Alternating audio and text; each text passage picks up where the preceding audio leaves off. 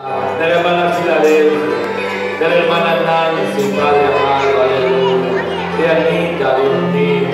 Nos alegramos de todo corazón por ellos, Padre amado, porque lo que hoy sucede